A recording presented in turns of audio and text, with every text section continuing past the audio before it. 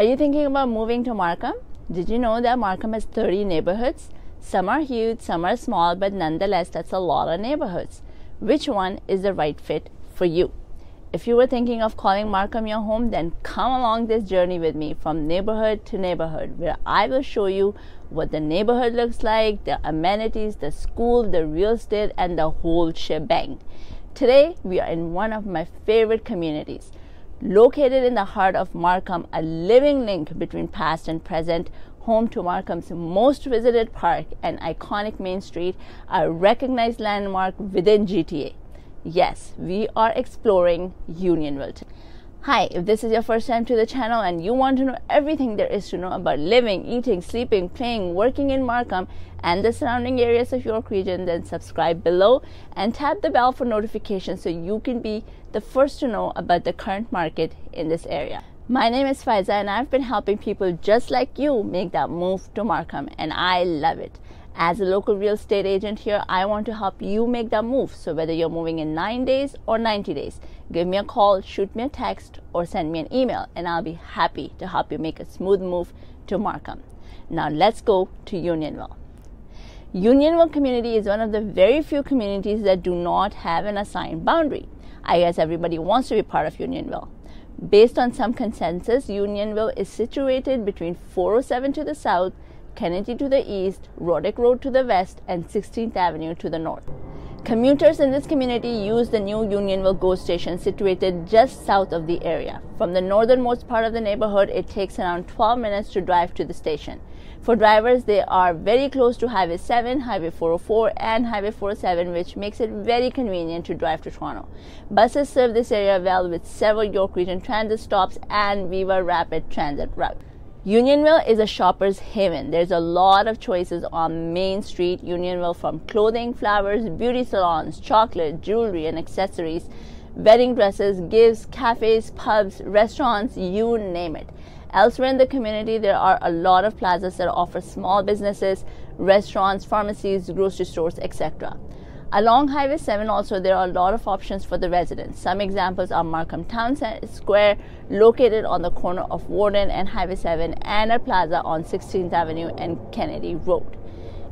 Unionville has over 18 parks, but the one Unionville is known for is Toogood Pond Park. The pond is home to Canada geese. Just steps away from Main Street, the park offers 5 miles of trails around the pond surrounded by mature trees. Other parks in the community have children's playgrounds, splash pads, basketball courts, baseball diamonds, and walking trails. There is a community center in Unionville for residents called Crosby Community Center. This conveniently located community center houses an ice rink ideal for hockey tournaments. You can learn to skate and get involved in power skating programs and public skating. Crosby Community Center is also home to city registered and drop in programs for children to elder adults. The Lamplight Room and Community Hall hold, uh, holds events for up to 180 people and is available for rent at a very reasonable fee. There's also a meeting room to accommodate smaller events and activities and meetings. There's a Unionville Library in a very pretty building located on Library Lane and it has public access to computers and meeting rooms. Some other attractions in Unionville includes Varley Art Gallery. It is the one-stop shop for all things art with a rotating display in the front of courtyard and various exhibits and classes being offered inside. The gallery is the place to go to this to see amazing art of all mediums. And then there's Stiver Mill. It is the last of the grain elevators and feed mills in Markham. It has been preserved to help educate visitors about the history of Markham and has become a well-known landmark of Unionville. It is situated beside the original train station and it is the perfect location for storage of deliveries for the local farming community. It was the backbone of Markham and has had a huge role in shaping Markham into the city it is today.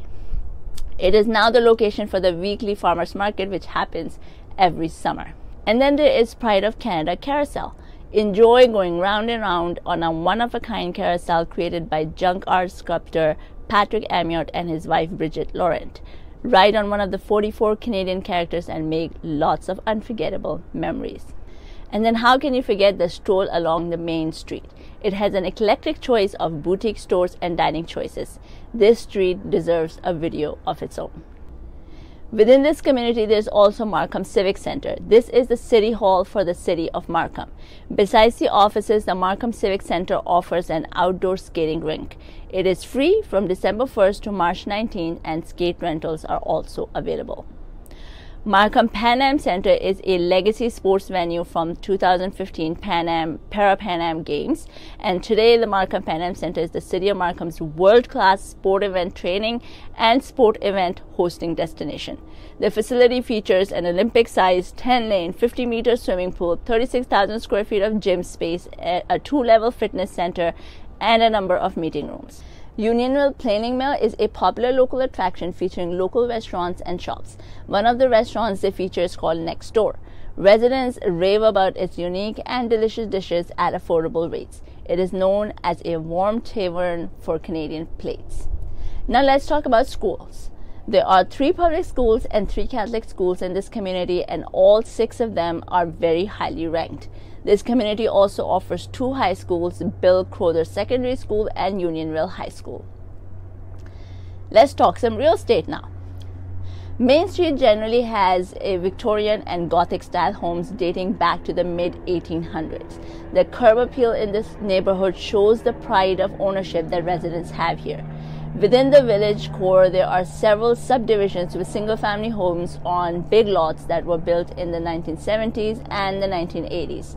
Newer homes are being offered now on Highway 7 that are mix of condos and luxury towns that are more affordable options. Homes near Toogood Pond are estate homes on premium lots.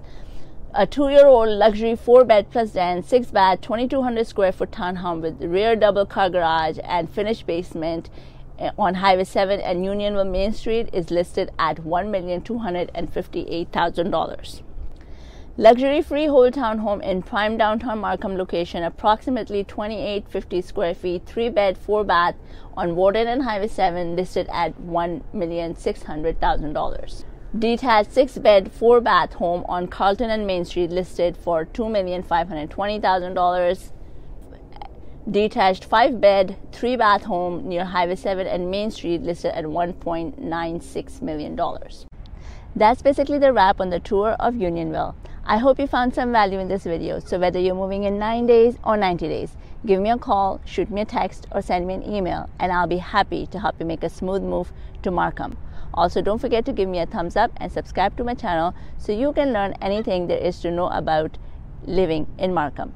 Until next time, I'll see you around town.